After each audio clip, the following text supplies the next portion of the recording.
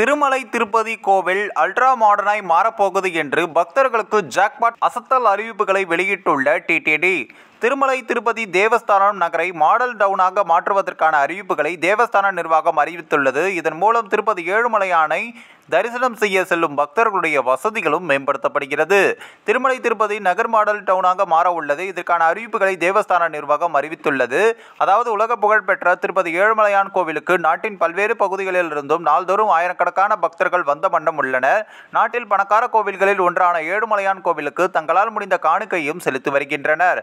திருப்பதி ஏழுமலையானை மலைப்பாதை வழியாக நடந்து சென்றும் தரிசனம் செய்தும் வருகின்றனர். எவ்வளவு நேரம் ஆனாலும் வெயிலோ மழையோ குளிரோ எதையும் பொருட்படுத்தாமல் காத்திருந்து பக்தர்கள் திருப்பதி ஏழுமலையானை தரிசனமும் செய்து வருகின்றனர். இந்த நிலையில் திருப்பதி திருமலையை மாடல் நகரமாக மாற்ற தேவஸ்தான நிர்வாகம் திட்டமிட்டுள்ளது. இந்த நிலையில் தான் திருமலை திருப்பதி தேவஸ்தானத்தின் செயலதிகாரி ஷியாமலா ராவ் திருமலையை முன்மாதிரி நகரமாக மாற்றுவதற்கான அறிவிப்புகளை வெளியிட்டார்.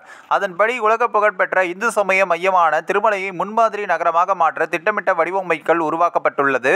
இதற்கான தொலைநோக்கு ஆவணம் அவசரமாக தைவைப்படுவதால் திருமலை திருப்பதி தேவஸ்தானத்தின் நகர்ப்புற வளர்ச்சி மற்றும் நகரமைப்பு பிரிவு அமைக்கப்பட்டுள்ளது.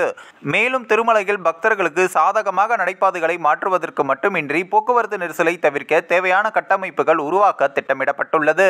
பக்தர்களுடைய வசதிக்காக ஸ்மார்ட் பார்க்கிங் வசதிகளை ஏற்படுத்த திட்டமிடப்பட்டுள்ளது. சில பழைய குடிசை வீடுகளுடன் பாலாஜி ஆர்டிசி பேருந்து நிலையமும் புதிதாக கட்டவும் முடிவு செய்யப்பட்டுள்ளது. மேலும் அடுத்த இருபத்தி ஐந்து ஆண்டு ஆண்டுகளின் எதிர்கால தேவைகளை மனதில் கொண்டு ஆவணம் ஒன்றை உருவாக்கி அதற்கேற்ப அடிப்படை வசதிகளை ஏற்படுத்தவும் திட்டமிடப்பட்டுள்ளது.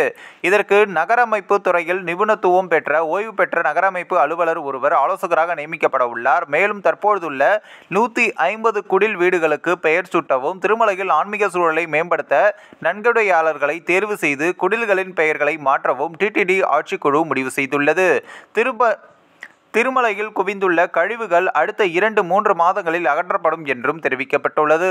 திருமலை திருப்பதியின் அழகை காண்பதே டிடிடியின் இலக்கு எனவும் தெரிவிக்கப்பட்டுள்ளது. திருமலைக்கு நாள்தோறும் ஆயிரக்கணக்கான பக்தர்கள் வருகை புரிந்து வரும் நிலையில் திருமலையின் அழகை மேம்படுத்தவும் பக்தர்களுடைய வசதிக்காக பார்க்கிங் நடைபாதை உள்ளிட்டவை மேம்படுத்தவும் தேவஸ்தான நிர்வாகம் மேற்கொள்ளும் இந்த நடவடிக்கைகளை பெரும் வரவேற்பை பெறும் என எதிர்பார்க்கப்படுகிறது.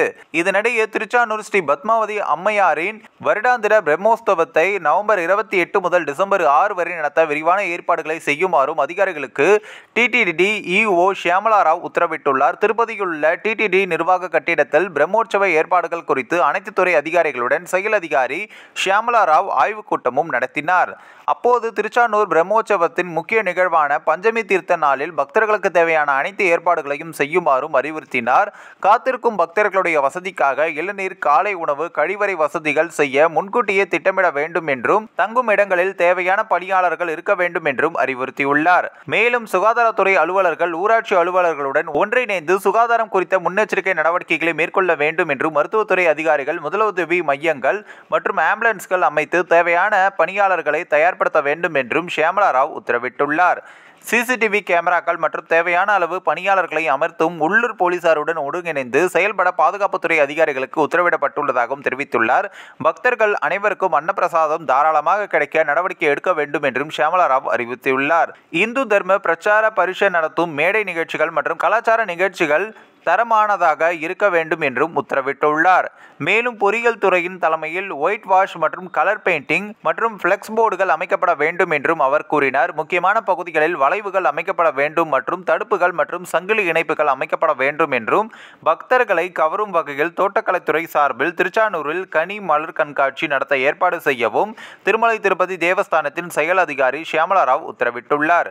இந்த ஒரு வீடியோ குறித்து உங்களுடைய கருத்துக்களை நீங்கள் மறக்காம கமெண்ட்ஸில் சொல்லுங்க. நம்ம ஏஷியா நியூஸ் தமிழ் தமிழையும் தொடர்ந்து ஃபாலோ பண்ணுங்கள்